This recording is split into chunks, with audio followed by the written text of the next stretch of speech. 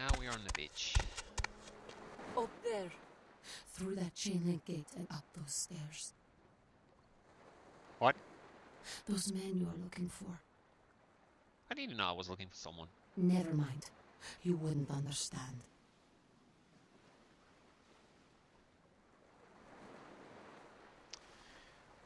So this is the the thin blood.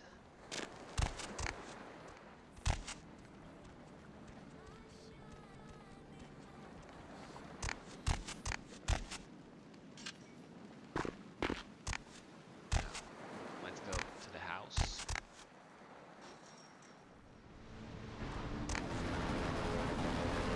Oh.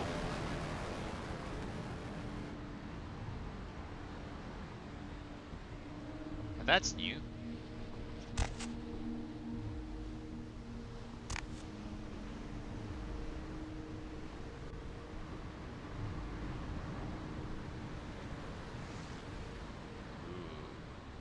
Glowing eyes of a predator.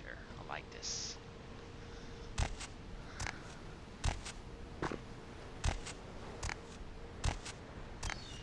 Help you?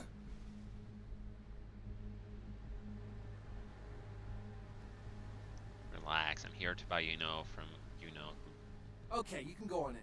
And if you really want to make my night, go ahead and start some shit in there, because I would love it. oh no, you wouldn't. I remember that. Thanks.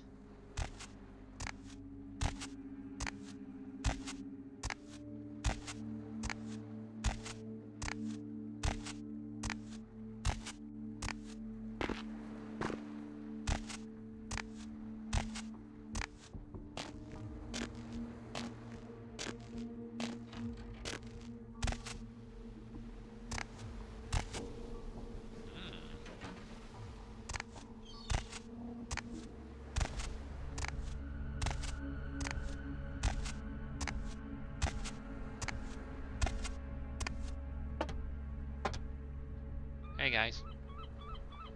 Playing cards, okay.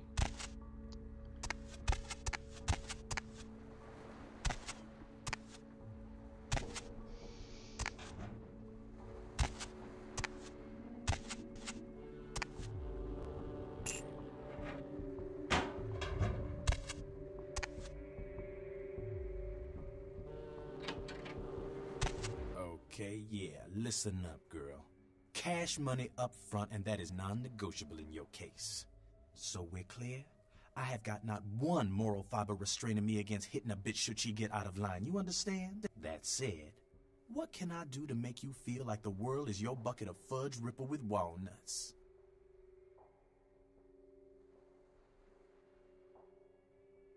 What do you've got? My staff maintains at all times a 24 karat smorgasbord of A plus narcotics guaranteed to make the competition shit seem like a weak cappuccino in comparison.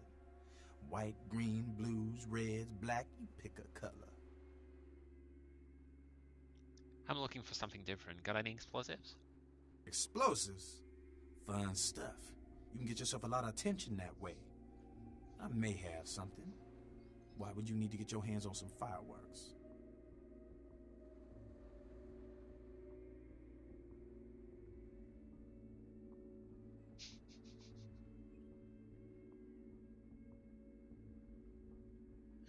Husband got the house on the divorce. Sure, okay.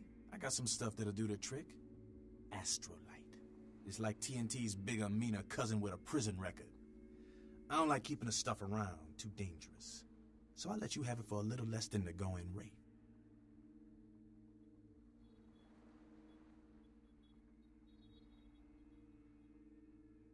Anything else you take beside cash?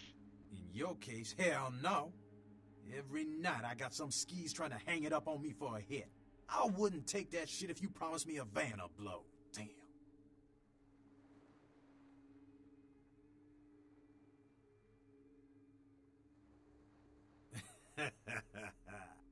I like my balls where they are right now, thank you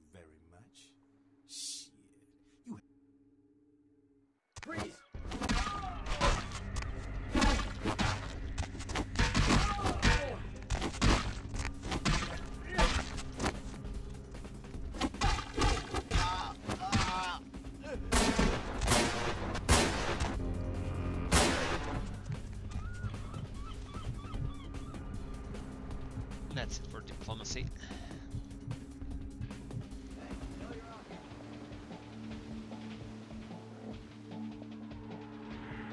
No. You call me mother. Yeah, I got the Astrolite.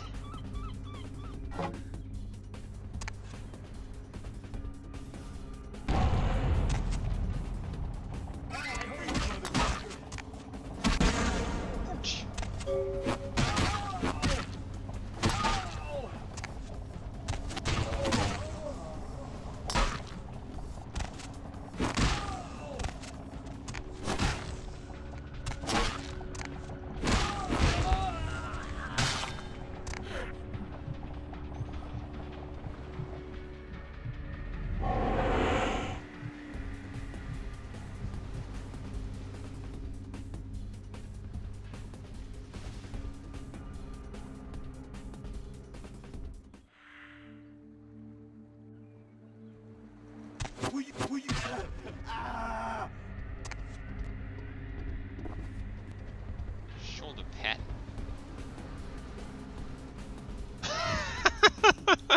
Are you expecting me to wear that? Come on. I look like I look like uh, a the Master Chief. Hey. Aye. Ow. Ow.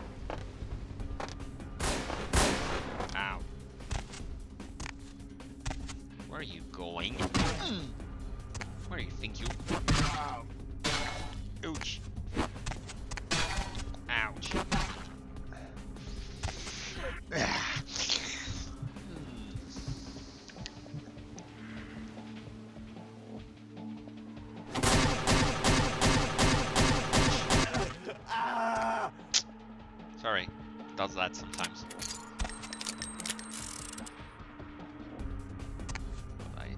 Cash.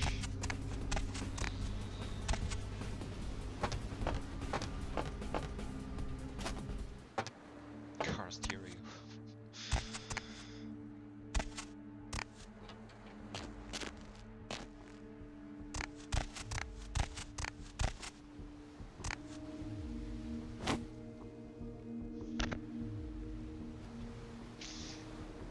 So let's get back to Mirror. First, let's talk with them. Listen, it's like I've told you types about a thousand times now. We know we can't hunt round here, alright? We're minding our own business. No reason to hassle the weaklings. What are you talking about? You mean you ain't here to run us off? No. Is that coming? We're getting pretty sick of it. Someone's sighting domain, or in the worst cases, hunting us for sport. What's wrong with you? Dunno. You all seem to have come down with the same disease. Who am I kidding? We're a bad horror show, alright? We seem to be the runts, the mistakes. You types call us thin bloods. I say we're all equally screwed. I'm new to this myself. How this happen to you? I just come to town for the surf tourney. Seems like years ago, but it's, well, been about six months now. Every night during the finals, I used to hit the local diner after the beach parties fizzled out in the AM. That's where I met her. Continue. She had a natural beauty. Not like all the plastic dolls littering the sand. Her name was Lily. I remember introducing myself. The way she seemed grateful for the company. Well, a few nights after our meeting, we were on the beach alone, and Go on. she tried to tell me what she was, but I didn't understand. And so she showed me. I was furious with her when I took it all in. I cursed her and left, never really knowing what I was. I realise now how she must have felt. So here I am now, a mystery to myself.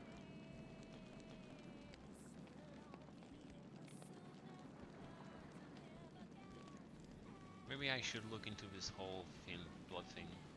Thin blood thing. I hope you have better luck than I did. No one's been particularly friendly to me in this city. The only reason we're in Santa Monica is because we haven't been chased out yet. You do know you're vampires, right? That's what Lily tried to tell me. But what I don't understand are the rules, and the terms, and the reasons some of them are at our throats claiming we're harbingers of the apocalypse. That's what I want to know.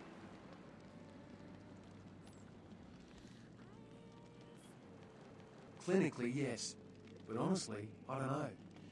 I suppose I'd have moved on by now if I didn't think she'd show up one of these nights. There's a lot I've got left to say to her. I'll get back to you if I hear anything.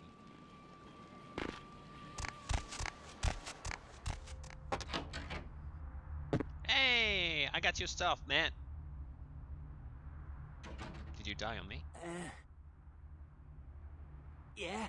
Did you waste those sons of bitches? Yep, but left me no choice. Good. Great. Hope it was painful. Did you get my money back? So here you got a you got a possibility to give him his body back.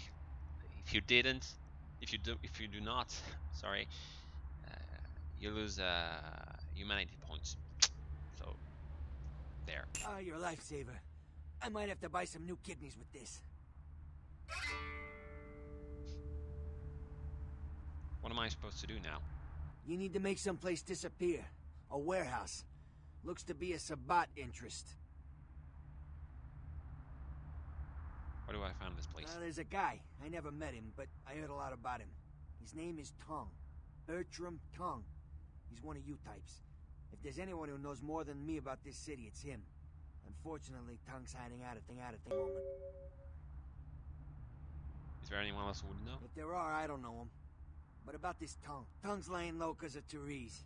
Therese Voerman, you know her? Anyway, word is Therese and Tung are feuding. I don't know the details. Mike takes that Tung thinks he's about to get whacked, so he's gone underground till Therese calls it off. It off. If you want to put that warehouse into orbit anytime soon, you're gonna have to get Therese to call off the feud. Where can I find her? She and her sister Jeanette, they run the asylum. Some freaky customers frequent that place. I try not to do business there. I guess I will see her. Goodbye. And goodbye to you. Thanks for watching this. See you next time.